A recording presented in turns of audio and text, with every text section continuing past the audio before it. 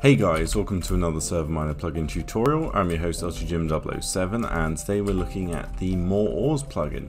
Now this is a really fantastic plugin which not only adds loads of new cool ores that you can mine, but it also adds quite a few new items. Now these ores will just generate in any world that you specify, which is really awesome, you don't have to do anything.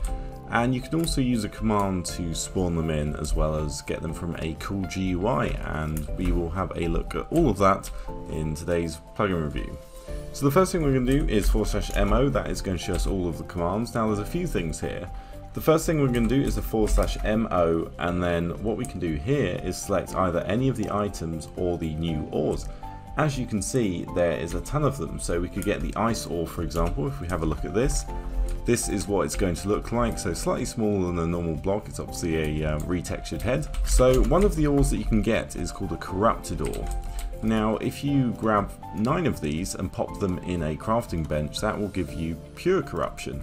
Now with this you can click on a sword, which will make it a corrupted sword. Now a corrupted sword is going to give you a chance at having the wither effect when you hit an enemy with it.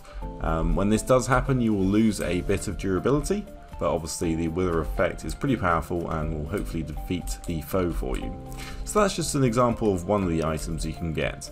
In this chest I've got most of the ores, there are a few other ones that you can get but you can see you know a fire ore gives you a fire crystal, liquid ore, health ore, there's an explosive ore, experience ore, you can probably guess what this one does if we were to you know, go in game mode 0 smash it and that's going to give you a good amount of experience.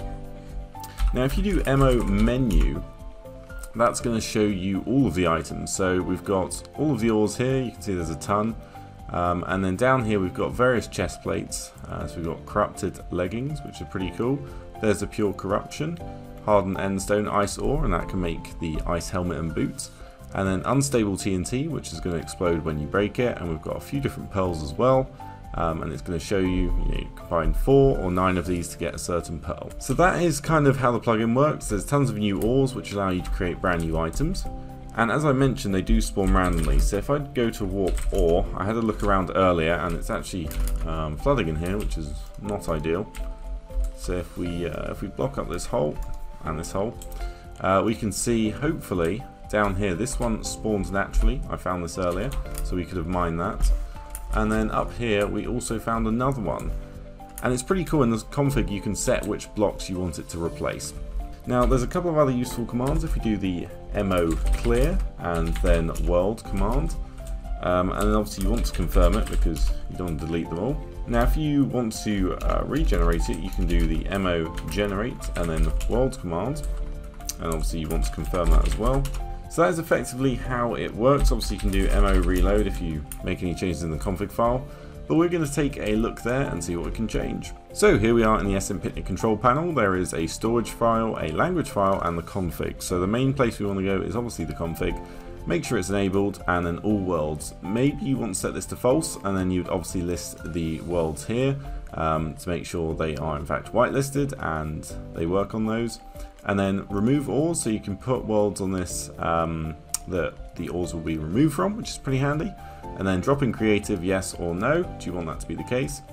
And then here are a list of items that can break the ores instantly so typically the best pickaxes and then silk touch is that going to work? So for the experience ore would you get experience or would you get the whole ore? So the developers really thought this through Spawn blocks, so these are the blocks it can replace, so basically just different types of stone and netherrack end stone. Um, and then all the ores down here, it's pretty handy. The min and max Y coordinate that, will, that they will spawn for, so this one is going to spawn pretty low down towards the ground.